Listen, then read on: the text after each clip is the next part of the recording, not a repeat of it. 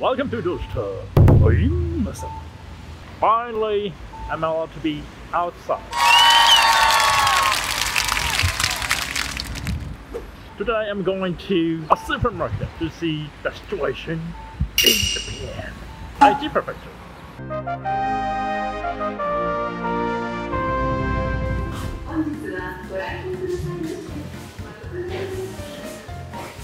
Sanitization. I can't use the bench. I've got a shopping cart.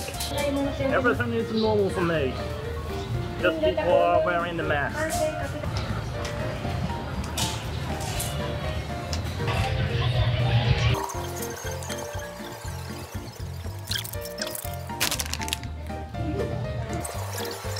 Wait the coffee, I need some sweets. And too many choices here. Oh my gosh. Wow. And Japanese traditional sweets as well. Which one should I take? What I pick for my coffee is this. Riedel. Various bento box for very reasonable price.